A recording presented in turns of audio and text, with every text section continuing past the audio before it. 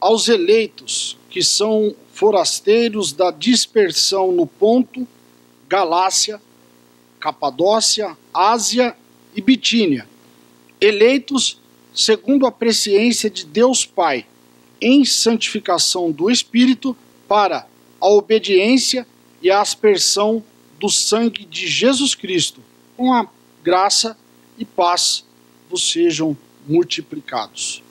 Irmãos, uma data de aproximadamente 64 anos depois de Cristo, é, é o que dizem é, alguns estudiosos, mas há alguma controvérsia também, é, que o apóstolo Pedro não tinha sido o escritor desta carta, mas que alguns é, cristãos da época, talvez 20 ou 30 anos é, após a morte do apóstolo Pedro, escreve é, essa carta é, descrevendo as grandes verdades da fé cristã. Diante disso, é, meus irmãos, eu quero é, refletir numa realidade nas nossas vidas que dá sentido a esta carta. E essa carta dá sentido à realidade que nós temos vivendo. Já há algum tempo, nós passamos por uma crise uma crise que ela não está limitada ao Brasil, mas é uma crise mundial. Mas temos uh, visto isso com tamanha intensidade aqui no nosso país. É? E isso relata uh, exatamente uh, uma verdade que tem um princípio bíblico. O sofrimento que nós temos passado hoje, as lutas que têm acompanhado as nossas vidas e outras situações que têm criado um desconforto na vida de muitos cristãos é uma realidade do ponto de vista bíblico. Quando nós analisamos a Bíblia, é, o que nós percebemos? Que não há possibilidade daqueles que querem seguir ao Senhor, como diz as Escrituras, não passarem por lutas e provações que têm um objetivo específico, nos fazer olhar para o futuro, o futuro onde nós estaremos na presença do nosso Deus. E estar na presença do nosso Deus significa viver exatamente o oposto daquilo que vivemos hoje, na atualidade. E daquilo que viveram todos aqueles que fizeram parte, é, que compõem a história da revelação é, do homem e Deus. Eu falo a respeito da Bíblia, de Gênesis a Apocalipse. É, o apóstolo Pedro é, escreve a carta aos estranhos sem casa. Pedro envia esta carta a irmãos da Babilônia, contendo palavras de exortação e confirmação dirigida a cristãos forasteiros, peregrinos em trânsito e estranhos residentes. Grande parte dos destinatários eram dispersos por cinco províncias romanas ou regiões da Ásia Menor. O sofrimento e vários tipos de hostilidades, conflitos e provações na fé eram evidentes na epístola uh, de 1 Pedro. Dentre eles, uh, 1 Pedro 1,6 uh, que eles eram contristados por várias provações. Então, a realidade de 1 Pedro eram lutas e provações, uh, provações estas que tinham o lado interior, provações psicológicas, provações uh, exterior, provações que envolviam todos os aspectos da vida. Uh, um outro relato de 1 Pedro, no capítulo 2, versículo 12, uh, que eles falavam mal uh, daqueles cristãos como malfeitores. Mas para Pedro, eh, no versículo 19, ele diz que isto é agradável, que alguém, por causa da consciência para com Deus, suporte tristezas, padecendo injustamente. Nós começamos a pegar eh, o fio eh, do texto de 1 Pedro e o motivo do sofrimento. Era uma igreja, ou eram várias igrejas, que padeciam injustamente. E mais, no versículo 20 é, do capítulo 2, ele diz: Pois que glória é essa, se quando cometeis pecado e sois por isso esbofeteados, sofrei com paciência? Mas se quando fazeis o bem e sois afligidos e sofreis com paciência, isso é agradável a Deus. E Pedro ainda continua falando do sofrimento no capítulo 3, versículo 14, quando fala que eles padeciam por amor da justiça. Amados, não estranheis ardente provação que vem sobre vós, para vos experimentar, como se coisa estranha vos acontecesse. Qual resistir firmes na fé, sabendo que os mesmos sofrimentos estão se cumprindo entre os vossos irmãos. A grande verdade, meus irmãos, é que os sofrimentos eram evidentes em grande parte da totalidade dos cristãos daquela época. Era uma referência é, que Pedro estava trazendo é, para aquela igreja, que não apenas eles sofriam, mas na totalidade dos escolhidos de Deus, espalhados pelo mundo, grande parte sofria é, por conta da perseguição religiosa, é, pelo fato de que eles eram cristãos. Um outro ponto que eu quero é, destacar é que a razão do sofrimento é a aprovação para a fé. Assim como Pedro, o relato do sofrimento tinha importância e sentido no desenvolvimento da fé. E Paulo, ele parte do mesmo princípio. Em, primeira, em 2 Timóteo, capítulo 3, versículo 12, Paulo estabelece a perseguição como algo inalienável na vida da cristandade de todos os tempos. É o que diz Paulo em 2 Timóteo 3,12. Todos os que querem viver piamente em Cristo Jesus padecerão perseguições. Me chama atenção aqui a palavra piamente, é, ela traz a ideia da personalidade é, da pessoa de Cristo e que Cristo, então, ele era o exemplo é, para aquela cristandade e para os cristãos de todos os tempos. Viver piamente é observar aquele que realmente é um modelo pleno para aquela igreja e para nós nos dias de hoje, o nosso Senhor e Salvador Jesus Cristo. Ponto de vista bíblico, tanto para Pedro como Paulo, em toda a história é, da raça humana, de Gênesis Apocalipse, nós percebemos que todos aqueles que se destacaram é, por conta da misericórdia, do querer e do amor de Deus, aqueles que foram motivados por Deus para viver uma vida com piedade, foram aqueles que viveram tais perseguições. Diante disso, é, meus irmãos, a expressão peregrino e forasteiros dá sentido a outra realidade dos destinatários de 1 Pedro. Uma parte deles tinha residência fixa e certamente nasceram naquelas regiões. No entanto, além da coerção social, da perseguição pelo fato de serem cristãos, da morada temporária, e alguns até residiam em tendas, a realidade da peregrinação era a morada espiritual. A verdadeira morada era o céu. Por isso, qualquer residência na terra, ela é temporal. É o que Paulo fala à, igreja de Filipos, no capítulo 3, versículo 20 mas a nossa pátria está nos céus, onde também aguardamos um Salvador, o Senhor Jesus Cristo, que transformará o corpo da nossa humilhação para ser conforme ao corpo da sua glória, segundo o seu eficaz poder e até sujeitar a si todas as coisas. Nessa parte introdutória, nós refletimos nas eh, grandes verdades do sofrimento eh, que faziam parte daquela igreja e certamente de todas as igrejas naquela época, é, todas as igrejas que viviam é, uma vida é, de piedade. É, os destinatários, é, algo nos chama atenção, que na região do Ponto, Galácia, Capadócia, Ásia e Bitínia, nós falamos de aproximadamente 80 é, mil cristãos, entre cristãos, gentios convertidos é, e judeus a constituição daquele povo era então mista, é? judeus e cristãos, ou seja, gentil convertidos. A identidade do sentido, é, a identidade religiosa dá sentido ao sofrimento dos destinatários de 1 Pedro. Por que eles sofriam? Eles sofriam pelo fato de que eles eram eleitos eles eram peregrinos no sentido espiritual.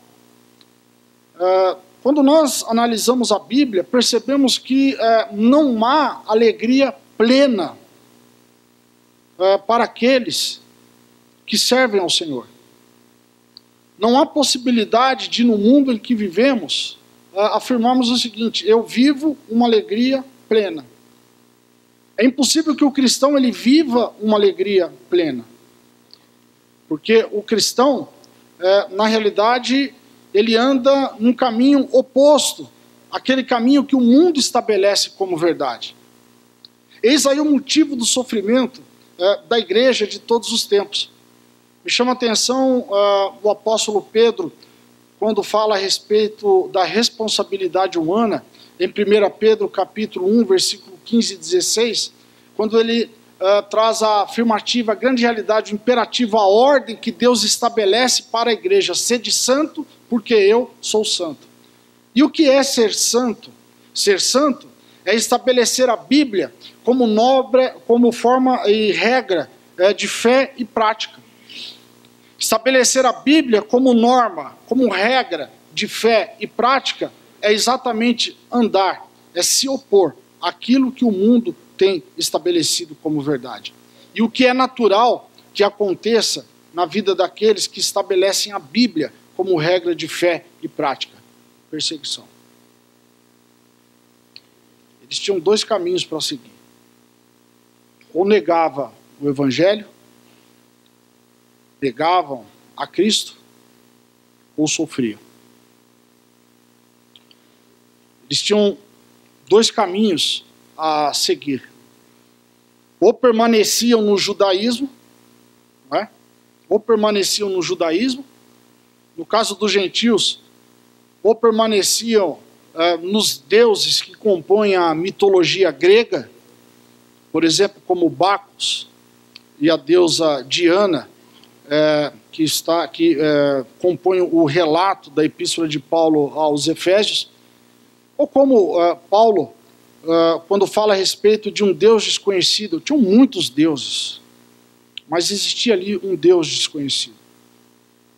Ou eles se dedicavam é, ao Deus desconhecido, ao único Deus, ao Deus soberano, ao Deus eterno, ao Deus absoluto, ao Deus sustentador de todos aqueles que ele escolheu desde a eternidade, ou eles viviam uma paz temporal. A igreja, ela sempre foi é, exortada, ela sempre foi orientada a viver os padrões éticos e morais que a Bíblia estabelece como verdade. Diante disso, meus irmãos, além de eleitos, além de trazidos e convertidos através da presciência, da existência do Deus Trino, além de serem conhecidos como cristãos, eles eram segregados do resto da sociedade pelo rompimento com determinadas relações sociais, familiares e religiosas do passado. É o que diz o relato é, em 1 Pedro, no capítulo 1, versículo 18 sabendo que não foi com coisas corruptíveis, como prata ou ouro, que fostes resgatados uh, da vossa vã maneira de viver, que por tradição recebeste dos vossos pais. Tinha um outro motivo da luta ali. Às vezes, uh, o cristianismo, uh, às vezes a verdade do evangelho, ela nos leva a romper com pessoas. Do outro lado, a palavra do Senhor deixa muito claro é, que os cristãos de todos os tempos, que os eleitos de todos os tempos, eles são convocados para ir à sociedade e falar das grandes virtudes que Deus ele fez. Essa ênfase está em 1 Pedro 2,9, em outros textos da Bíblia, onde relata que um dos motivos da escolha, um dos motivos da eleição, é Deus usar a vida de cada um para que outros sejam alcançados. No entanto, a eleição, o cristianismo, a fé verdadeira, ela gera também rompimento. Rompimento com tradições. Rompimento com coisas humanas e transitórias. Rompimento com tudo aquilo que não agrega valores éticos e morais para a cristandade é, de todos os tempos. Dessa forma, é, meus irmãos, eu estabeleço aqui com vocês um tema para pensarmos nesta manhã. A história da eleição, parte 1. Quero refletir em três verdades da ação divina no processo da eleição. A primeira verdade, a eleição e o fundamento histórico.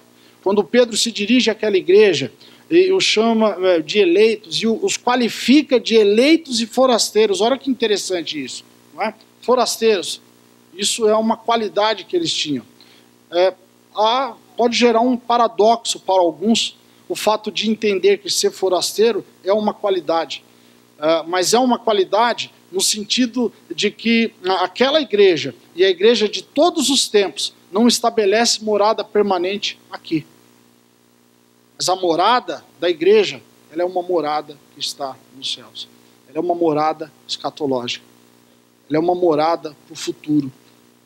Ela é uma morada incomparável é, a tudo aquilo é, que nós possamos alcançar e ter aqui. É, por um tempo, é, eu acho que logo quando o Senhor me chamou, é, eu tinha o hábito é, de chamar a casa de irmãos e a minha própria casa de barraco. E quando eu via, eu percebi que algumas pessoas ficavam incomodadas quando eu ia numa bela casa e chamava aquela casa de barraco. É, na realidade, o que, que eu queria dizer? É um barraco. Porque a mansão celestial que o Senhor tem separado para os eleitos é algo incomparável a tudo aquilo é, que eles poderiam é, alcançar e ter aqui é, nesta vida. Quero dizer com isso que, por mais que seja uma casa excelente, é, com piscinas, sauna, e assim por diante, é um barraco. Né? No sentido de algo que é, não consegue expressar a realidade é, da grandeza de uma morada, da grandeza daquilo que Deus tem estabelecido para aqueles que Ele ama. Desta salvação é, e os fundamentos de 1 Pedro, eles estavam no Antigo é, Testamento. É o relato de 1 Pedro, no capítulo 1, versículo 10 e 12. É, dessa salvação inquiriram e indagaram diligentemente os profetas, que profetizaram da graça que por vós era destinada. Indagando qual o tempo ou qual a ocasião que o Espírito de Cristo que estava neles indicava, ao predizer os sofrimentos que a Cristo haviam de vir, e a glória que se lhes havia de seguir, aos quais foi revelado que não para si mesmos, mas para vós, eles ministravam estas coisas que agora vos foram anunciadas por aquele que, pelo Espírito Santo, enviado do céu, vos pregaram o Evangelho, para as quais coisas os anjos é, bem desejam atentar. As verdades de 1 Pedro, é, meus irmãos, tinha seu fundamento é, no Antigo Testamento e o cumprimento no Novo Testamento.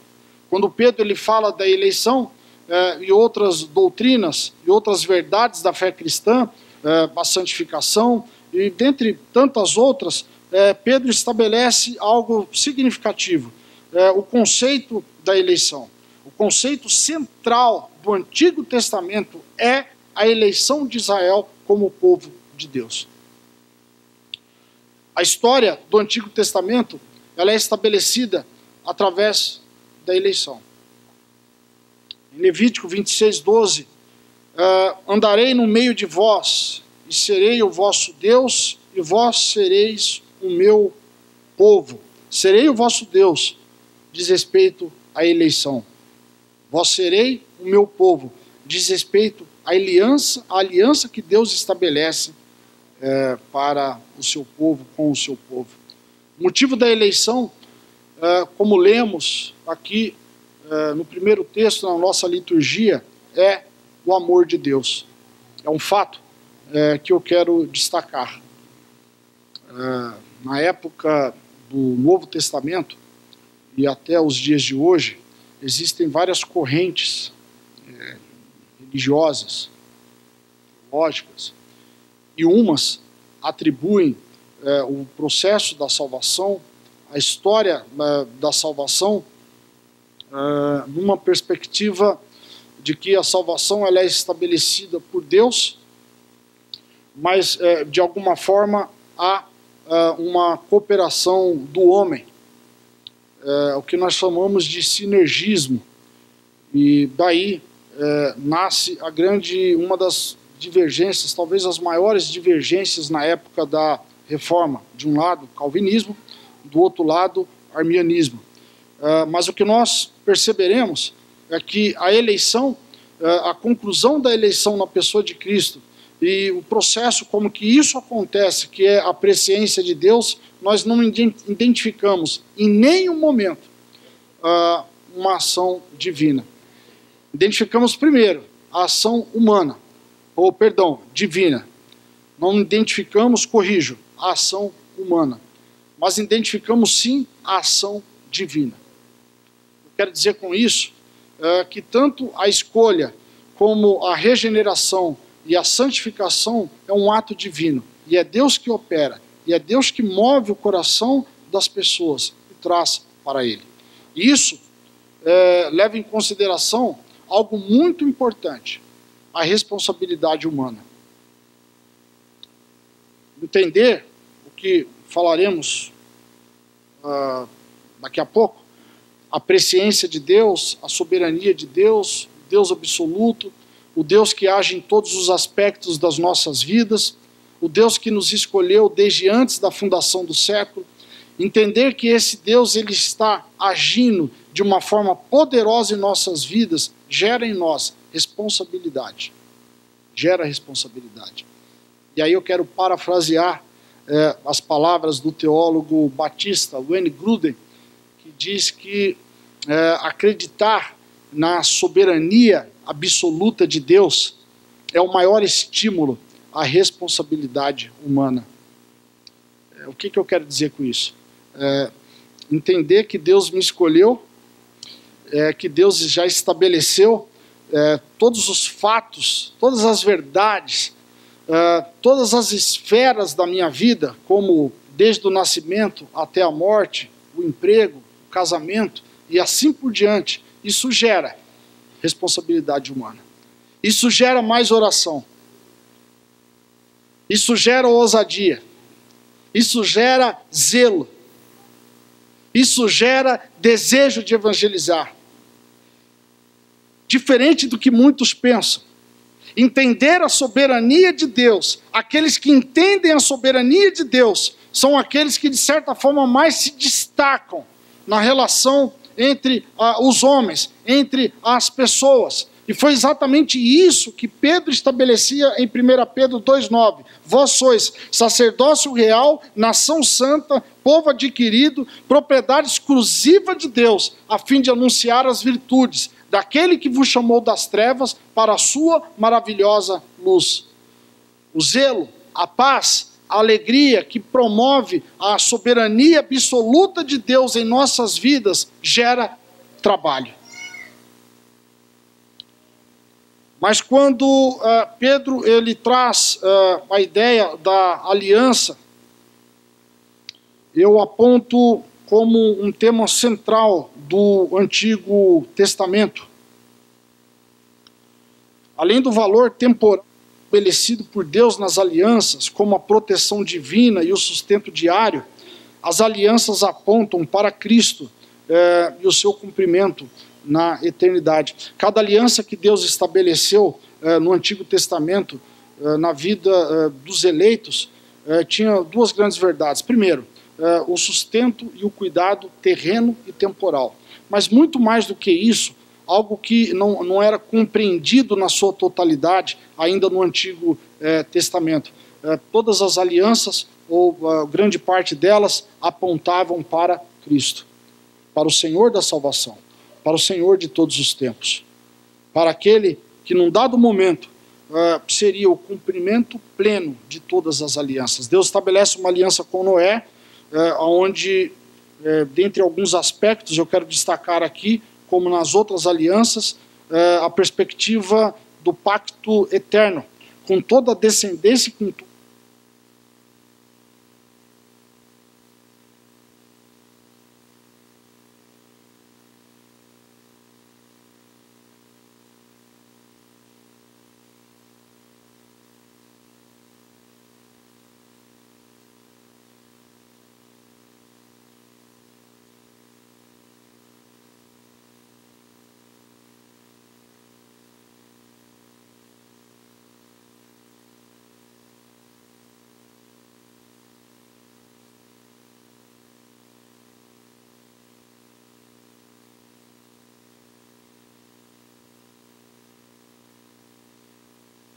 entre mim e vós, e todo ser vivente que está convosco, por gerações perpétuas.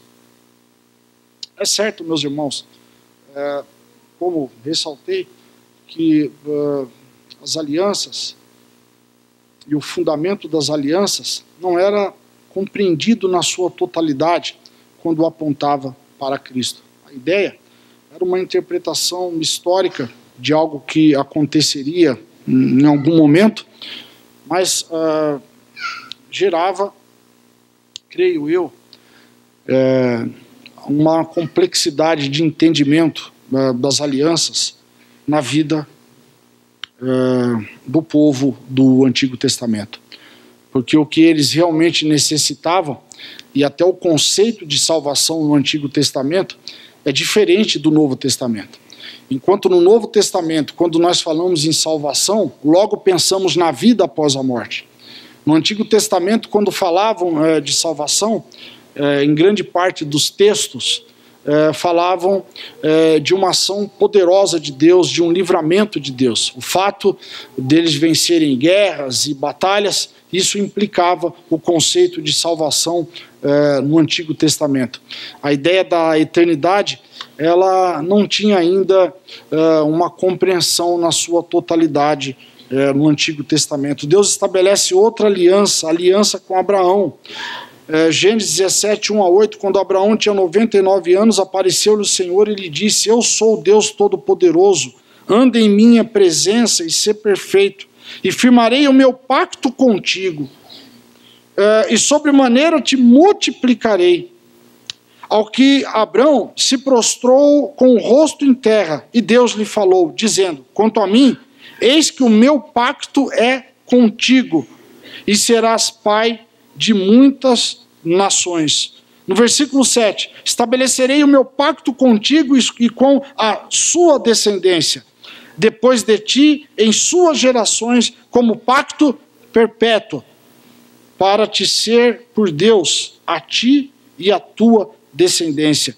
E ainda no versículo 8, eh, na parte final do versículo 8, em perpétua possessão e serei o seu Deus. Essa é a aliança abraâmica, aliança com Abraão, uma outra aliança, aliança com o povo, aliança do Sinai, aliança que Moisés é, foi é, o objeto de Deus, a pessoa que Deus usou, a pessoa que Deus estabeleceu para livrar o povo das mãos de Faraó.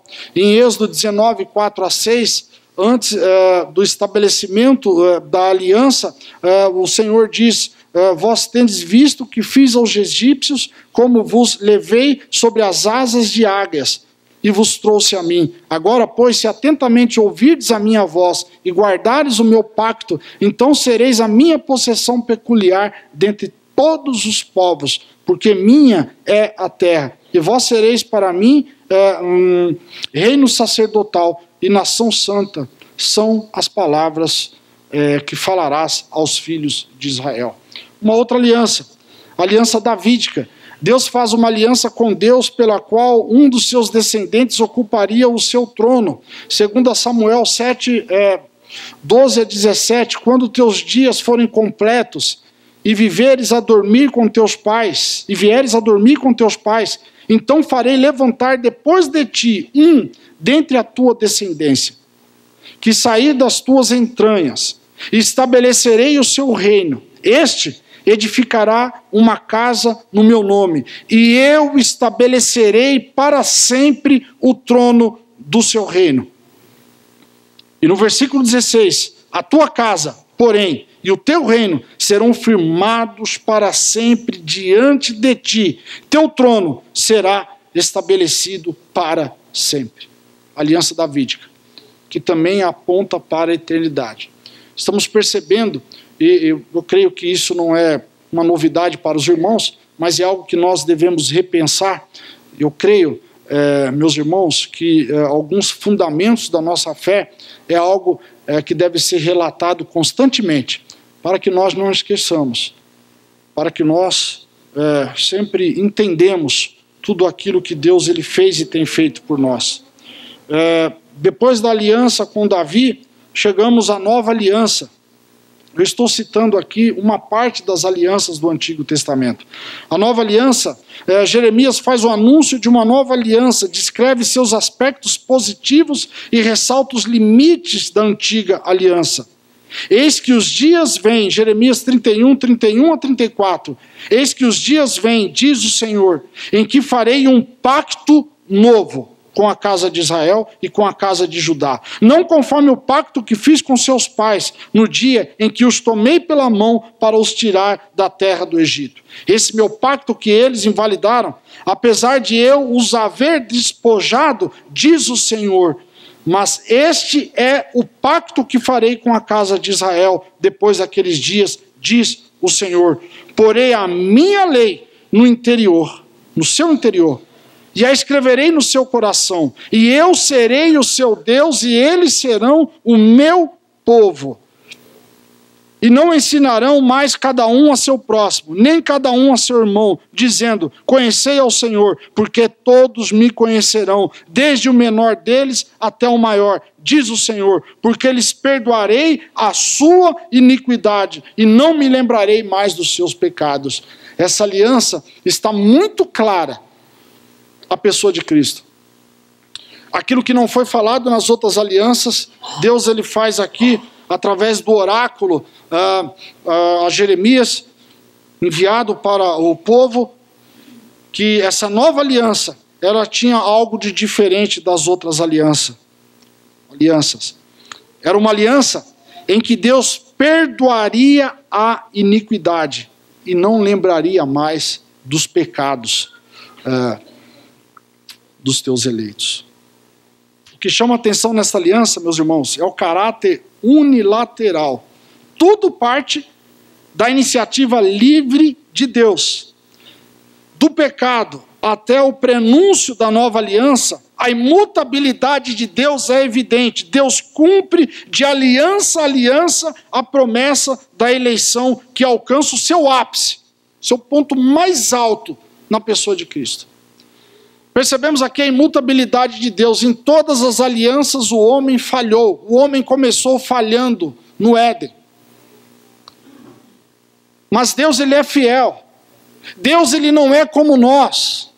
Nós mudamos constantemente, nós somos mutáveis. Nós estabelecemos algo hoje e amanhã nós mudamos. Nós estabelecemos algo agora e daqui cinco minutos nós mudamos a, as ideias, as opiniões e aquilo que era verdade já não é mais verdade, mas Deus estabelece o relacionamento entre Deus e o homem, entre os seus eleitos, com cultos que uh, representam um Deus absoluto. Absoluto também porque é imutável. Deus ele não mudou. Aquilo que Deus falou lá em Gênesis capítulo 3, versículo 15, que num dado momento a semente uh, da mulher pisaria na cabeça da semente da serpente. Deus vai estabelecendo isso em toda a história do Antigo Testamento, em todas as alianças, uh, com o objetivo de trazer de volta aos eleitos, aos seres humanos, aqueles que ele escolheu, aquilo que foi perdido no Éden, a comunhão irrestrita com Deus.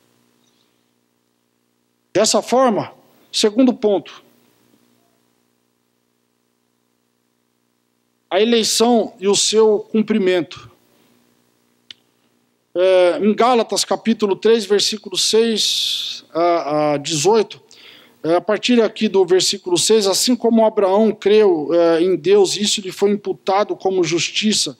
Sabeis, pois, que os da fé, é, que os que são da fé, esses são filhos de Abraão. Ora, a Escritura, prevendo que Deus haveria, havia de justificar pela fé os gentios, anunciou previamente a boa nova, o Evangelho, a Abraão, dizendo: Em ti serão abençoadas é, todas as nações, de modo que os que são da fé são abençoados com é, o crente é, Abraão. No versículo 13, Cristo nos resgatou da maldição da lei, fazendo-se maldição por nós, porque está escrito: Maldito todo aquele que for pendurado no madeiro, para que aos gentios viesse a bênção de Abraão em Jesus Cristo, a fim de que nós recebêssemos pela fé a promessa do Espírito.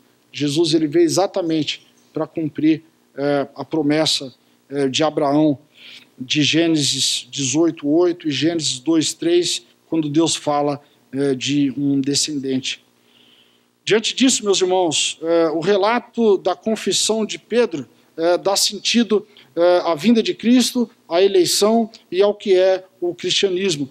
É, quando Deus chama Pedro e pergunta: Pedro, é, quem dizem por aí, quem dizem que eu sou? E Pedro, olha, um profeta e outras coisas. Profetas, João Batista e assim por diante. Uh, Jesus pergunta, mas e tu? O que você diz a meu respeito? Aí Pedro, na sua confissão, ele diz que tu és é, o Cristo, o Filho do Deus vivo. Pedro estabelece ali a verdade uh, da igreja genuína. Pedro tinha em mente a esperança judaica de um povo davídico, divinamente ungido, e a esperança messiânica do Antigo Testamento, do Filho de Deus. As declarações de Pedro não param por aí. Em João 6, 6, 8, é, especificamente é, no capítulo 6 do Evangelho de João, depois da multiplicação dos pães e peixes, é, o Senhor ele vai para outra margem do rio e no outro dia as pessoas vão atrás do Senhor. E logo quando as pessoas veem é, a presença do Senhor, é, Deus é, exorta todos aqueles dizendo: Vós vieste atrás de mim por causa da comida que perece, não por causa da comida que subsiste. Dessa forma, muitos se afastaram do Senhor. E no, no versículo 68 é, do capítulo 6, quando Pedro, quando o Senhor pergunta para Pedro se ele também iria se retirar, Pedro respondeu: Senhor, para quem iremos nós? Tu tens as palavras da vida eterna além de fundamentar o sentido do cristianismo, a confissão de Mateus 16 e o relato da multiplicação e a fala de Pedro estabelece é, o ministério apostólico de Pedro e dá sentido ao que é o cristianismo. Para Pedro, ser cristão e ir atrás de Cristo tinha pouca relação com as coisas terrenas e temporais. Pedro aqui entendia realmente o que era uh, o cristianismo. Uh, talvez algumas pessoas te perguntam o que é ser cristão, uh, por que você vai na igreja, uh, o que, que, te motiva a ir à igreja. Eu creio que a resposta mais apropriada seria afirmar que ser cristão é reconhecer a eternidade na presença de Deus e a eternidade é exatamente o oposto daquilo que vivemos aqui. Por fim, meus irmãos, é, Pedro, é, no processo, é, na história da salvação, ele estabelece aqui no capítulo 1, versículo 2, ele fala da doutrina da presciência de Deus, a verdade da presciência. A eleição era segundo a presciência de Deus. É, no capítulo 2, no, é, segundo, na segunda epístola de Pedro, no primeiro capítulo, no versículo 2, Pedro também diz que a graça e a paz sejam multiplicadas no pleno conhecimento de Deus é, e Jesus Cristo, que tem como objetivo crescer na graça né, da eleição. E ainda no capítulo 2, no, no primeiro. Em 2 Pedro, no primeiro capítulo, no versículo 10, ele diz: Portanto, irmãos, procurai mais é, diligentemente fazer firme a vossa vocação e eleição, porque fazendo isto nunca jamais tropeçareis. Em 1 Pedro, o propósito ao mencionar a eleição é certamente o de encorajar os leitores, fortalecer a fé, colocando sempre mais firmemente sobre o sólido fundamento gracioso do amor de Deus. A presciência, que é o pré-conhecimento de Deus, tem a ver com a totalidade da vida dos escolhidos e a imutabilidade e o amor parcial de Deus. Deus ele é presciente. Não apenas porque ele sabe de todas as coisas, mas porque ele sabe do futuro. Deus é presciente. Não porque ele sabia uh, aqueles uh, que, num dado momento, motivados pelo próprio Deus, seriam alcançados pelo Evangelho. Mas Pedro estabelece a doutrina da eleição uh, na presciência de Deus enfatizando que a presciência de Deus tem a ver com todo o cuidado de Deus na vida dos eleitos, desde o nascimento até o dia da morte.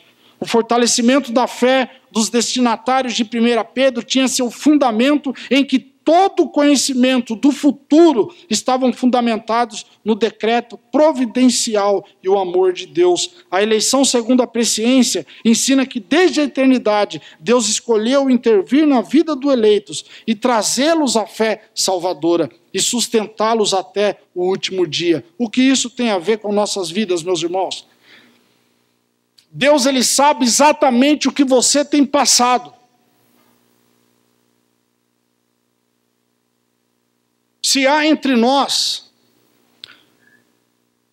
alguém que tem chorado escondido no banheiro, na hora de dormir, no carro, alguém que tem sido provado, alguém que tem passado por lutas, que se perguntasse, fala alguma coisa a respeito das suas lutas, você uh, usaria a palavra indizível.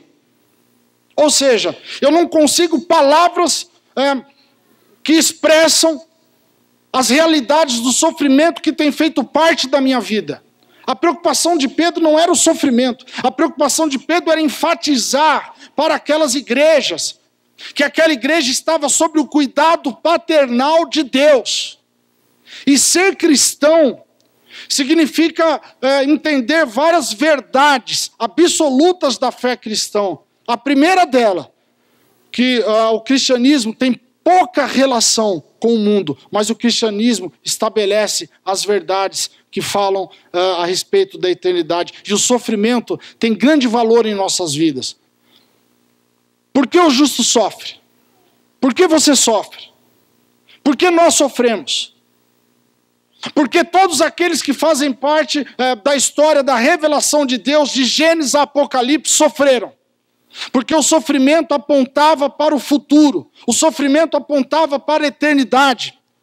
O apóstolo Pedro, em 1 Pedro 2,9, ele diz o seguinte: Alcanceis o fim da vossa fé, a salvação da vossa alma. Ele fala ali da salvação da totalidade do homem. Ele não divide o homem em duas partes, ele não divide o homem em três partes. Ele fala que o homem, aquele que estava sofrendo, aquele que estava alcançando o fim da fé, aquele que estava saindo do abstrato para o literal, ah, ele estava é, exatamente entendendo uh, o fundamento da fé cristã. Meus irmãos, Deus ele sabe tudo que você tem passado. E você está aqui uh, porque Deus te trouxe. E o dia de amanhã nós não sabemos, mas Deus ele sabe. E os nossos sofrimentos, ele tem o objetivo glorificar ao nosso Deus. E o glorificaremos todos juntos quando estivermos na presença dele e alcançarmos o final da nossa fé. Com o coração contrito, e com o coração grato, grato. Porque nós sabemos que não estamos sozinhos nessa jornada, mas que estamos sob o cuidado do Deus absoluto, do Deus eterno, do Deus providencial. Louvemos ao nosso Deus com o hino 368. Que Deus os abençoe em nome de Jesus.